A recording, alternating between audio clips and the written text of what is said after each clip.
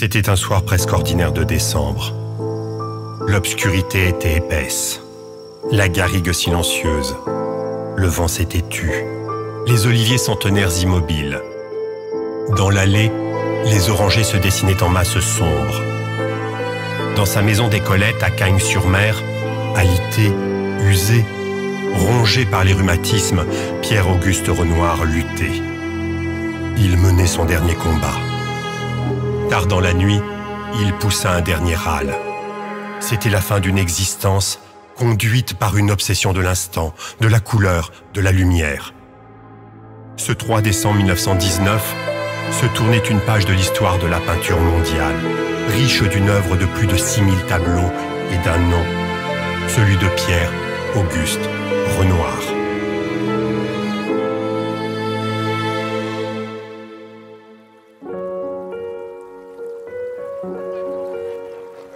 Avait commencé 78 ans plus tôt, à Limoges, un jeudi de février 1841.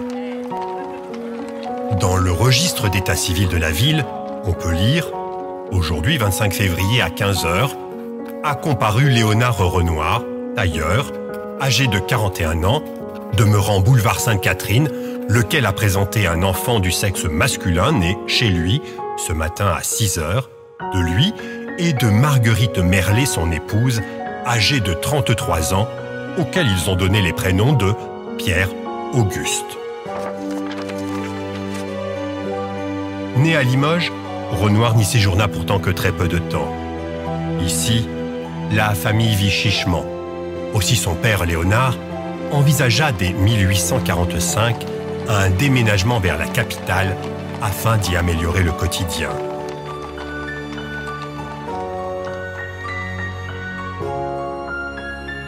Renoir n'avait alors que 4 ans.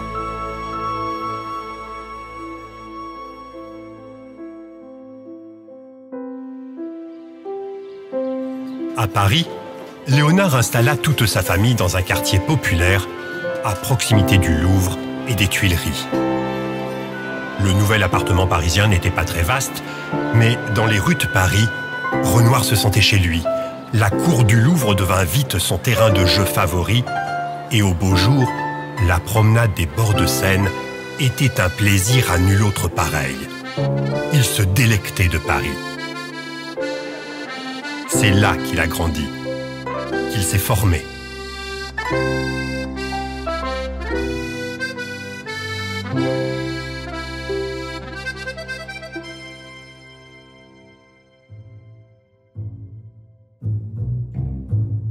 À 13 ans, Pierre-Auguste est engagé comme peintre sur porcelaine. Au début, on lui confia des encadrements faciles, mais très vite, son habileté le fit passer aux portraits historiques. Sa lucidité le persuadait que les productions de son patron, de vulgaires copies de Sèvres ou de Limoges, ne représenteraient jamais des standards de beauté éternels.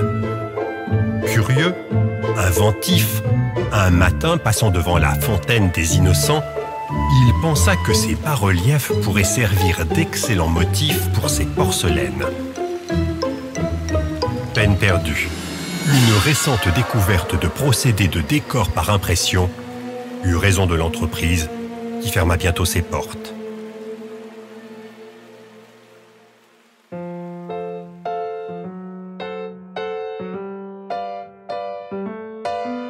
Le hasard voulut alors qu'en passant devant une devanture, Renoir vit qu'on cherchait un peintre spécialisé en décoration sur store. Il n'y connaissait rien, mais assura le contraire au patron, qui l'engagea immédiatement. Plus tard, il s'essaya avec succès à la décoration de café. L'architecte des Folies Bergères lui demanda même d'en assurer la décoration. Hélas, faute de budget pour financer l'échafaudage indispensable aux travaux, il dut renoncer.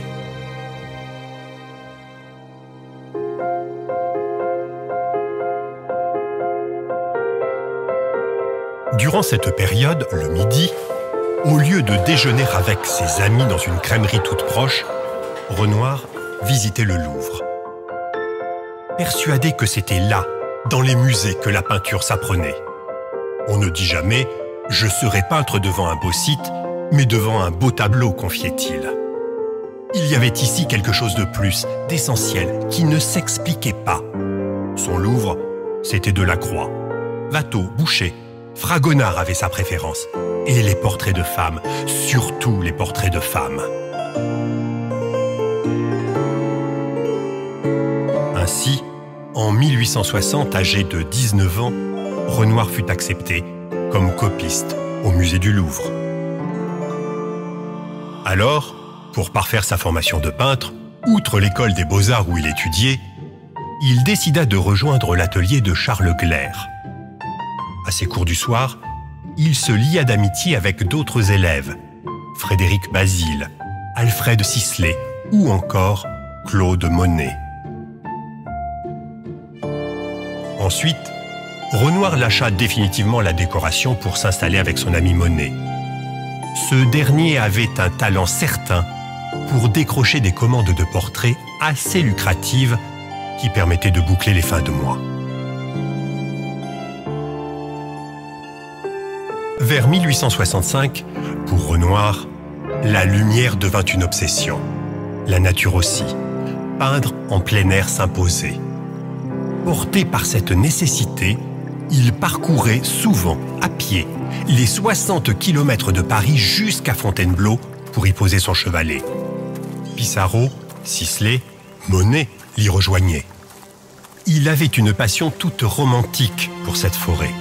Elle l'exaltait. Il y apprivoisait doucement la danse des rayons solaires dans le délicat mouvement des feuillages bleutés.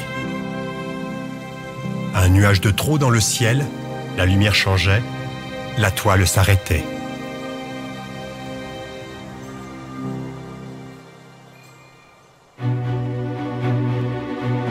Marchand Paul Durand-Ruel, en soutien sincère et inconditionnel de cette peinture, organisa plusieurs expositions dans sa galerie du 11 rue Le Pelletier. Ce fut un échec total. Pas un client pour venir voir Monet, Sisley, Morisot, Pissarro ou Renoir. Les débuts s'annonçaient compliqués. Même Marguerite, la mère de Renoir, fan du début, avait cessé de suivre la carrière de son fils. Depuis qu'il mettait du bleu partout, cela l'a dépassé. En 1873, la conviction de Pissarro était qu'il leur fallait organiser leur propre salon. Paul Cézanne se joignit à eux. Edgar Degas, d'ordinaire si réservé, se rapprochait également du groupe. Manet s'abstint. Ensemble, en 1874, ils organisèrent la première exposition des impressionnistes.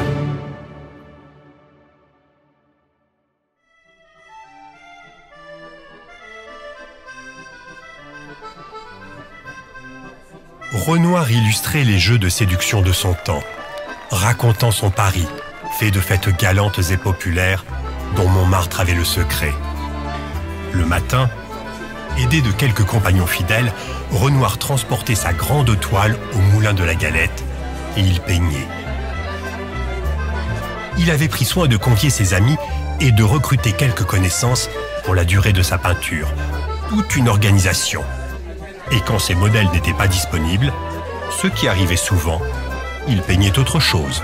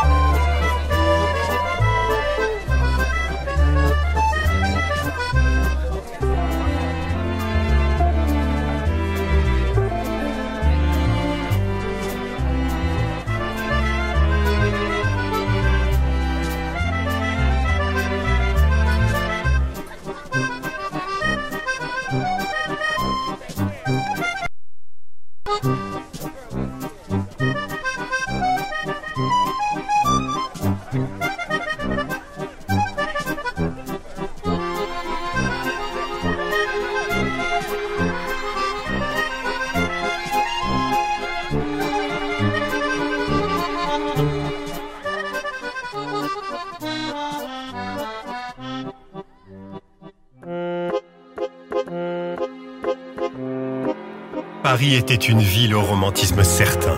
L'amour y était partout. La Seine, prétexte à de jolies promenades et à des rencontres passionnées. Pour le peintre qui aimait les femmes, celles à la beauté charnue des baigneuses décriées, ou celles aux fins minois rieurs et enjoués, la scène fut une source intarissable d'inspiration. Peintre de la femme, il le fut avec passion. Son idéal féminin rencontré se nommait Aline. Aline Charigot. Une alchimie inexplicable faite de passion et d'admiration naquit entre ces deux êtres dès 1880. Ils patientèrent près de dix ans avant de convoler pour le meilleur.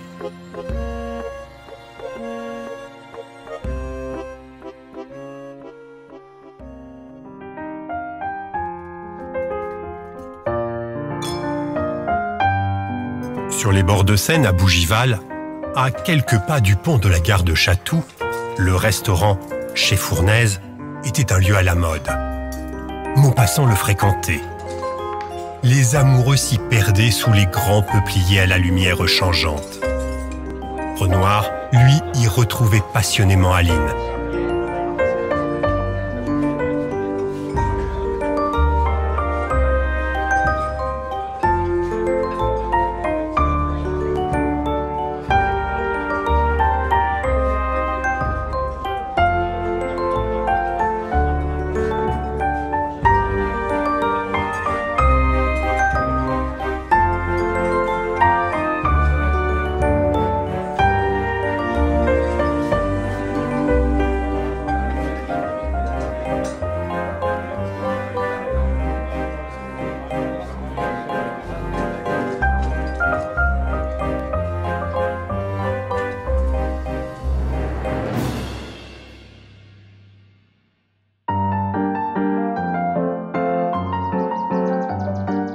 Renoir aimait à peindre ses proches, amis, enfants, femmes ou compagnes. Comme lui, Suzanne Valadon, qui partagea un temps sa vie, était originaire du Limousin. Née de père inconnu, sa mère avait quitté Bessines-sur-Gartempe pour s'installer à Paris, dans le Montmartre des artistes. Suzanne s'essaya un temps à l'acrobatie dans un cirque avant de devenir un des modèles préférés des impressionnistes.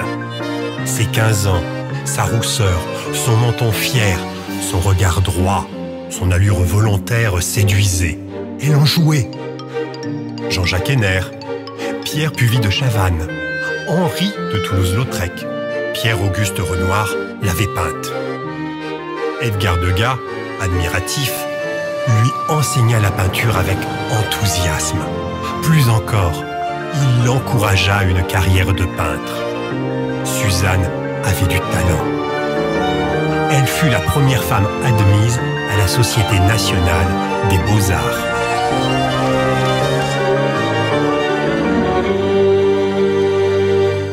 Pour Renoir, l'année 1886 consacra sa reconnaissance internationale.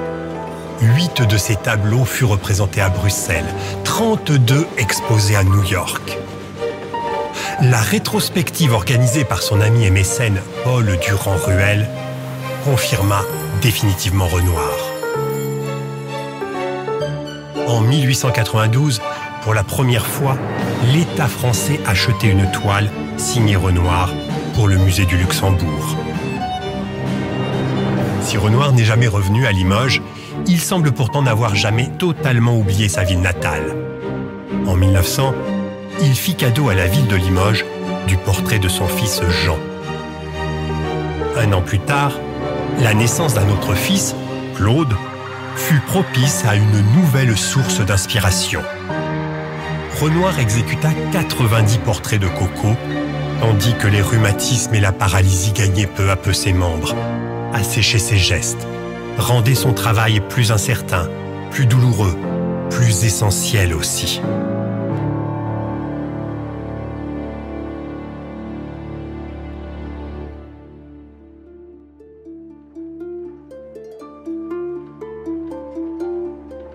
En 1915, Renoir dut encore supporter l'angoisse d'un père pour ses fils, Pierre et Jean, engagés dans la Grande Guerre où l'un et l'autre furent grièvement blessés.